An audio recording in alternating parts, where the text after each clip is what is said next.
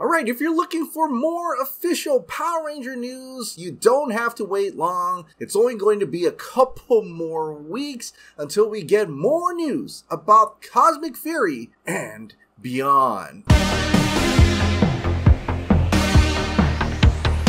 Hey, welcome back to the Ping Pong Flix. My name is Chris Wong. I know we had that San Diego Comic Con, nothing really happened there. Then we got Power Morphicon, something really big happened there. The official Cosmic Fury news dropped from Simon Bennett himself and from Hasbro. Officially, Cosmic Fury is going to be our next season for Power Rangers coming straight to Netflix, which is coming right after the second half of season 2 of Dino Fury, which is also coming to Netflix. Though there are some other countries where it's going to pop up on TV or has already popped up on TV, so, you know, be very careful about Dino Fury spoilers. But I want to talk about the next thing without spoiling anything from Dino Fury.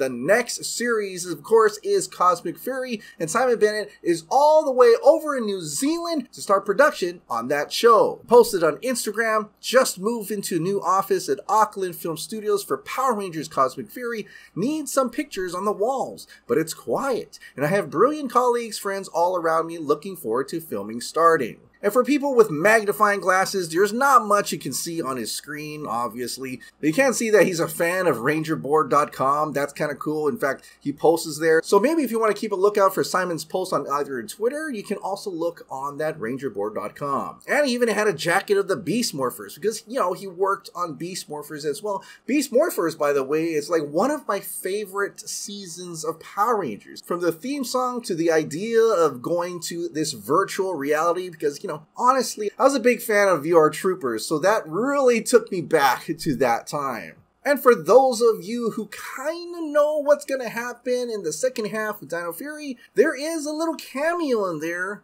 and yeah, it's Beast Morphers. So I'm like, you know what would be cool if Simon brought back Beast Morphers and maybe both teams could work together somehow? I don't know. But Simon also posted this nice spot could almost be another planet. Of course, teasing that Cosmic Fury is going to be taking place in outer space, in the cosmos. It's going to be cosmic, which is a welcome change for the modern Power Ranger seasons. I love the Power Ranger seasons from before, where it took you to other worlds, other time periods, and it kind of really branched out the story. So it seems like Simon is exploring a little bit more with this series now, expanding it more, and going into space space, I could really get behind the creative juices that is probably going to come out of this series. And because it's coming straight to Netflix, there was a question on whether it's going to come out all the episodes at once, like the previous Dino Fury episodes, or is it going to have like a weekly release? Well, according to Screen Rant, which took it from Puck News, Netflix is reportedly considering moving away from its binge release model for a weekly release format.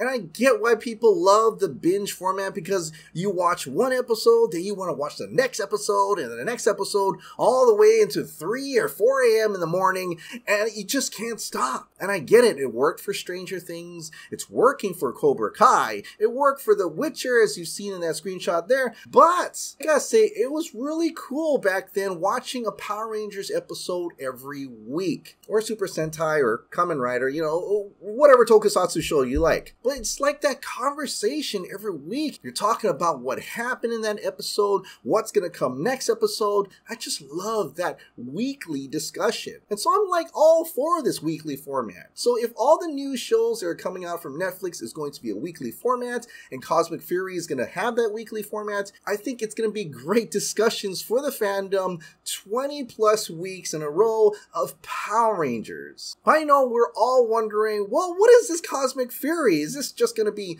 more Dino Fury with the Dino Fury suits and they're just going out into space? And the Dino Fury suit aspect could be true because if you look at the Cosmic Fury title, does have a dinosaur emblem there just like the Dino Fury unless that's a placeholder and the actual logo is going to be looking different. Or is it the Dino Fury costumes but updated into a different type of costume, making it an original suit for Cosmic Fury? And obviously, this doesn't take away all the theories that this is possibly Kyuranger, as Kyuranger is the most likely type of Super Sentai that could translate into a Cosmic Fury Power Ranger season. And I wouldn't mind that at all. Come on, Kyuranger? That's great. And I know Simon Bennett's team can absolutely do stunts now. They make great action sequences without borrowing the action scenes for the Super Sentai shows and looks seamless. The camera angles are very dynamic. It looks absolutely awesome. And I have no doubts they can make in great Power Ranger shows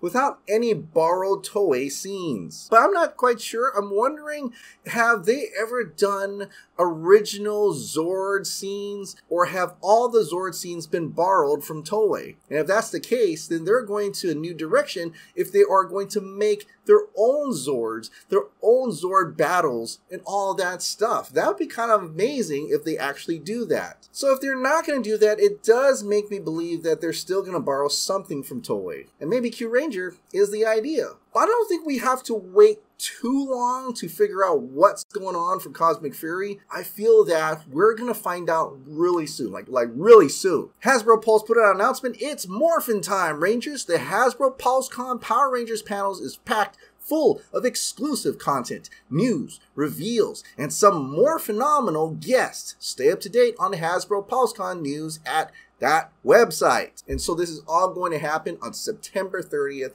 the day after official US Netflix release of Dino Fury Season 2. Now, RangerBoard.com retweeted that and put a little thing in their tweet that you know, I honestly couldn't find in the actual HasbroPulse.com website, probably because I didn't know where to look but they knew where to look, and this is what it said. Power Rangers panel will drop on Friday, September 30th, by the way. Quote unquote, the latest news from the second half of Dino Fury Season 2 and beyond. Cosmic Fury? So obviously we know that season 2 part 2 is coming out. They've already had a trailer for that and a teaser for that. They've also teased Cosmic Fury. So me wondering, well, they tease that there's a Cosmic Fury coming out. They're about ready to shoot. That means September 30 must have, and I and I, I really hope it does, the costume reveals for the Cosmic Fury team. And the fact that they said beyond, I'm wondering if it's going to go beyond Cosmic Fury as well into the Jonathan Entwistle reboot universe. Although I feel like that's highly unlikely. If they're trying to promote the next season,